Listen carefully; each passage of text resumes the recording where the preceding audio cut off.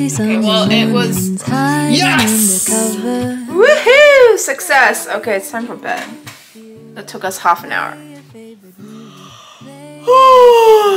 See you there.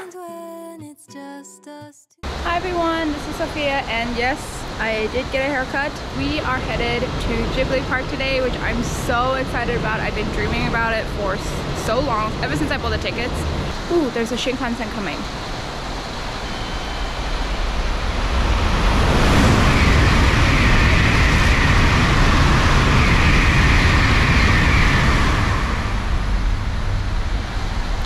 So cool. So basically to get to Ghibli, we are taking the Shinkansen to Nagoya and then from Nagoya we're going to be taking a local train which takes about an hour. So it's a good thing we're staying near my fiance's house because it makes it closer for us to get to Ghibli Park. But I'm imagine if you are trying to get to Ghibli Park, you just stay in Nagoya because it's just quicker and easier. But, oh, another Shinkansen.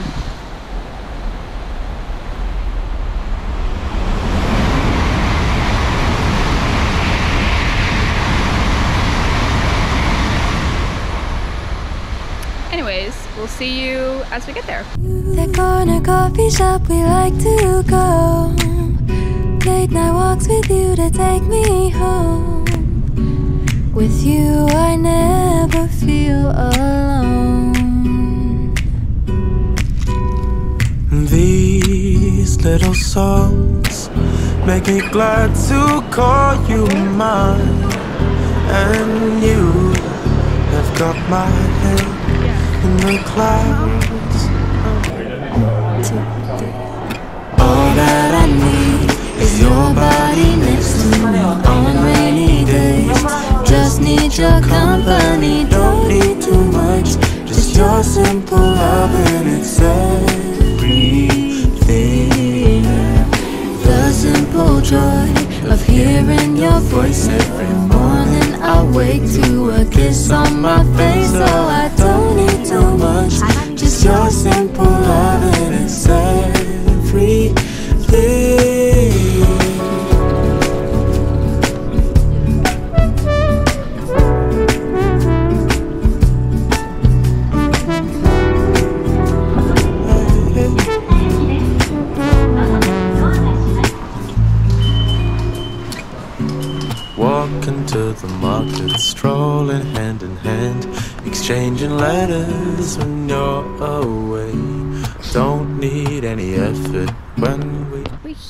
I lied. I thought it was just one train, but it's actually two. Uh, well, technically it's one train and one light rail, so I guess I didn't lie. Like technically I didn't lie, but it was Shinkansen train light rail anyways so apparently we only got we can only enter the grand warehouse at our allotted time and within the hour so we got to go to the grand warehouse first yeah. Together, we always have fun throughout the day. I'll do anything to get your attention. When you say you love me, I seem to ascend to the heavens above, where we fall in love. I don't know what I would do without you Because all I need All I need is you Make me fly to the clouds. One, two, three. All that I need is your body next to me on rainy days. Just need your company, don't need too much. Just your simple love and it's everything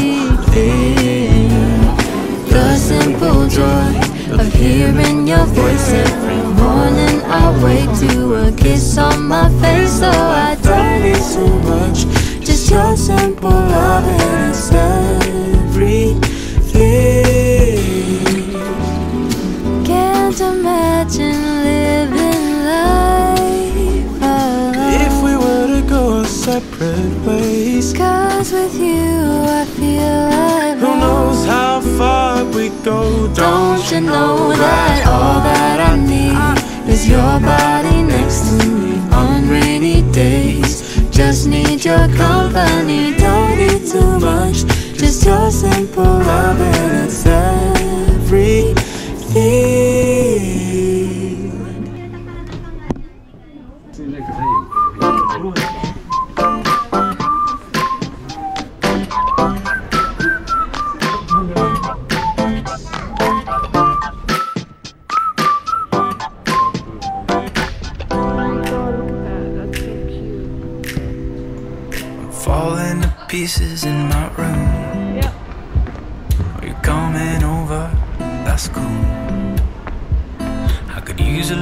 something to do.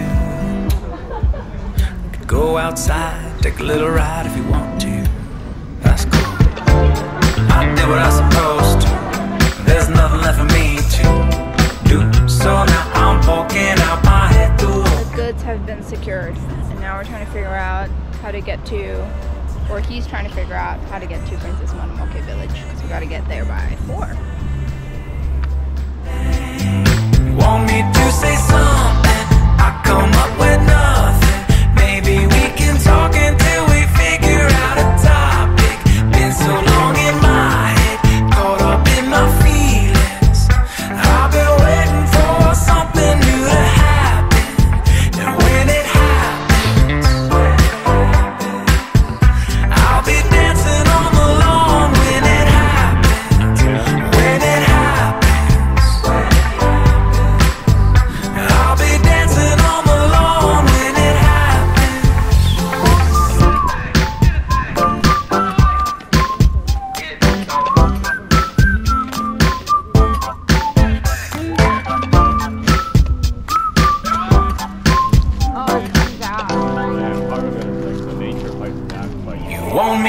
Say something?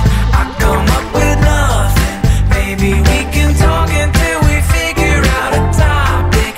Been so long in my head, caught up in my feelings. Okay, honestly, that was kind of underwhelming. And it was cute, sure, but only if you get here on time where you can do like a little like cooking class. But by the time we got here, they were sold out.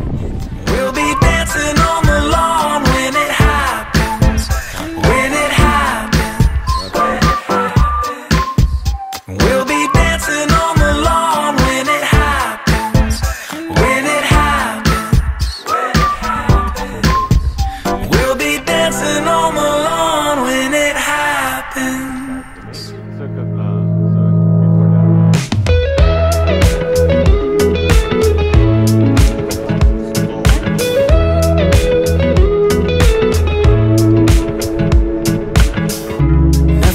smile in the morning.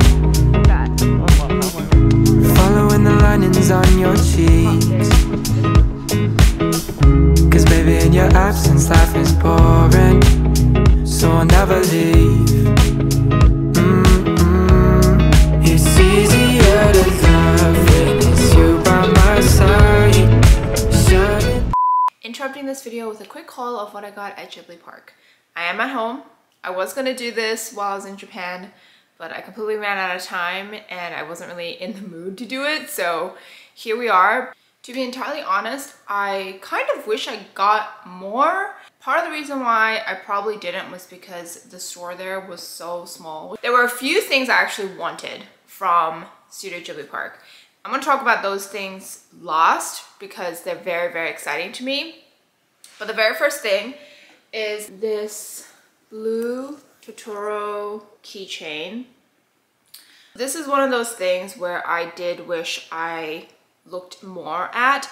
I remember seeing a Jiji 100% regret not buying that one. So every park had a different like merch shop and I will say the merch shops for those like little parks were small but I think they had their own like unique or like limited edition thing and this was one of the things at the Totoro Forest Park that really caught our eye and it actually caught my fiance's eye where he was like I'm gonna buy that. It's really just decor I think but I think you could probably use it as something else. It is like I have to lean really back. Like a tapestry. Continuing on with what we got at the store itself I got these two enamel pins and then my fiance got this plane and then at the counter my fiance asked if I wanted this I got some postcards. I really wanted this um, Princess Kaguya postcard. It's actually metal, which is super cool. I'm not actually going to use that as a postcard, obviously. It's just going to be decor. But I just really love the animation of this movie, so I really wanted something from that movie. And then my fiance chose this one. I saw, again, with the postcards, but here are some postcards. Again, not necessarily to be used as postcards, but I really wanted to do one of those like, you know, like those three frame, those three picture frames and just kind of do like a little collage with these postcards. I got this tote bag. This is actually a very thick canvas tote. Not only that, it is actually lined. There's even a pocket. I also really, really love this green. Okay, the last two things are the things that I was going there to go get kind of thing. So the first one is this Jiji humidifier. It is a portable humidifier. It comes with two filters. I think my fiance has the other one. You just pour water in here, put it in, and then I think you have to plug it here with its USB cord to basically have it go on. It comes out of the mug. It's just it's just so cute. If you're like buying this to like replace an actual humidifier, don't do it. This is just definitely more of like a decor slash humidifier. And then the other thing, this was a thing that I badly, badly wanted to buy when I went there. They didn't have it actually.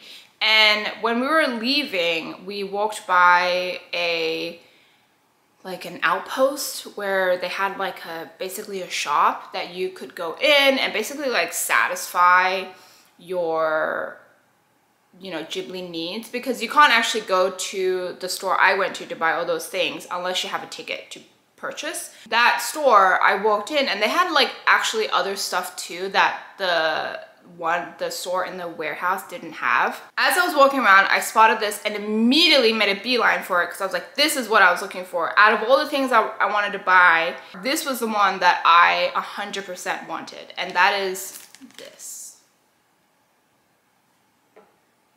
It's so cute.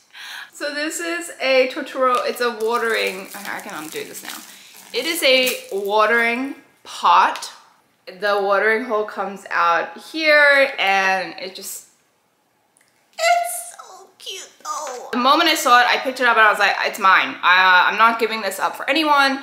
It was 100% a pain in the mm, to pack because it's small but it's not that small either especially in the grand scheme of suitcase space i am over the moon about this i did see this in I think one other uh, Studio Ghibli store. I think it was in um, Miyajima Island, so I didn't see it anywhere else in Tokyo or anywhere. So if you do see it in Japan, I would just recommend just buying it. So yeah, that is it for my Ghibli Park haul. Let's just get into the outro of this video.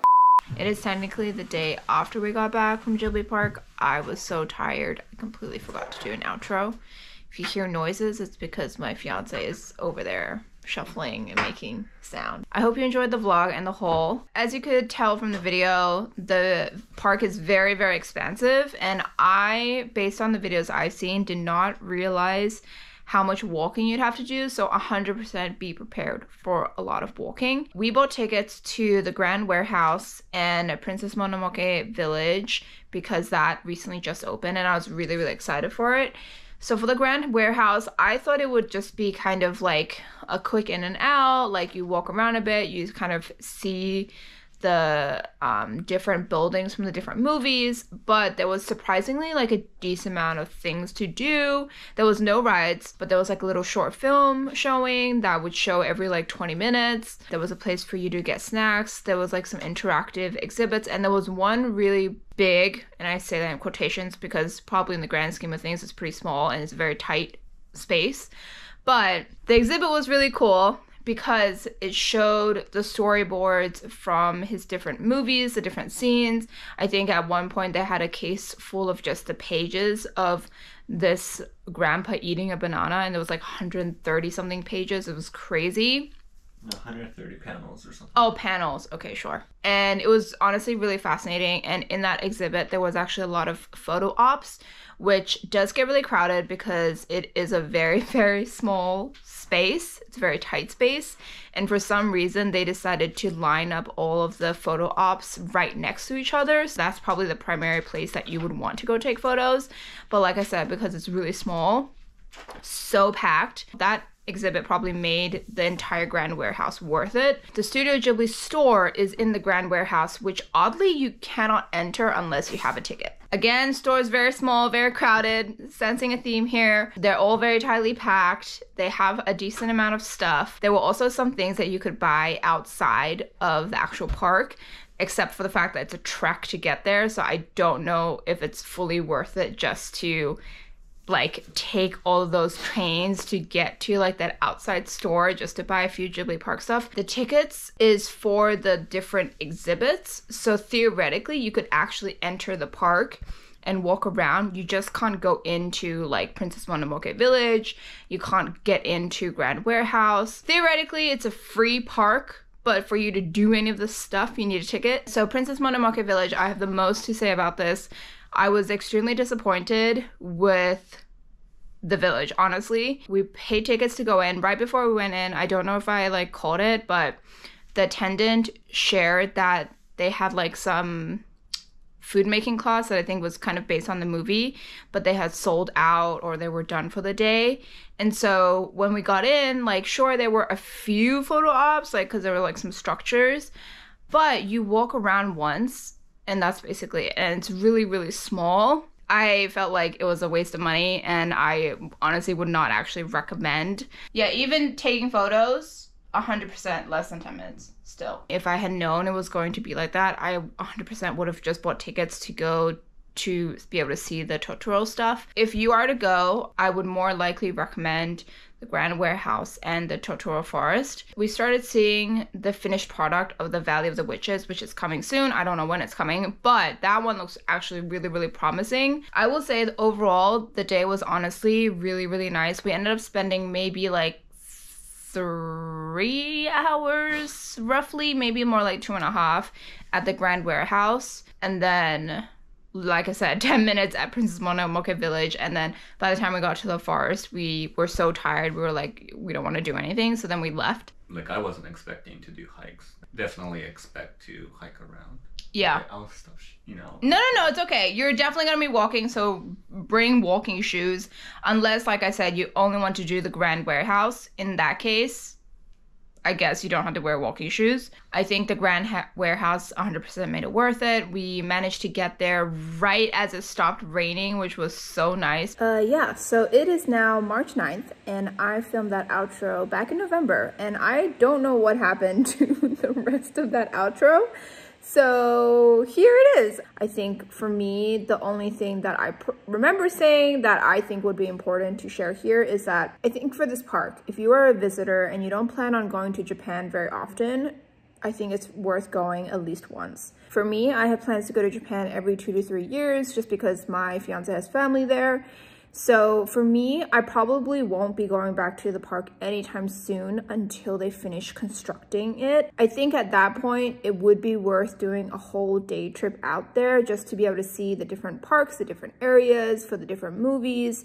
I think that's the only time that I would ever go back to Ghibli Park, but that's just for me personally. Honestly, I still had a great time and editing this video has really reminded me how much fun I had kind of seeing everything and storyboarding and everything. So honestly, it was a good time. I just don't think that I I think I had hyped it up in my mind a little bit too much. And so it was a little disappointing because of that. But again, I think if you have realistic expectations of what you're expecting there, then you will have more than a good time. So hope this video was helpful. If you have any other questions that I can answer for you, let me know in the comments. But hopefully I'll see you next time for another one. Bye. Feeling like child through the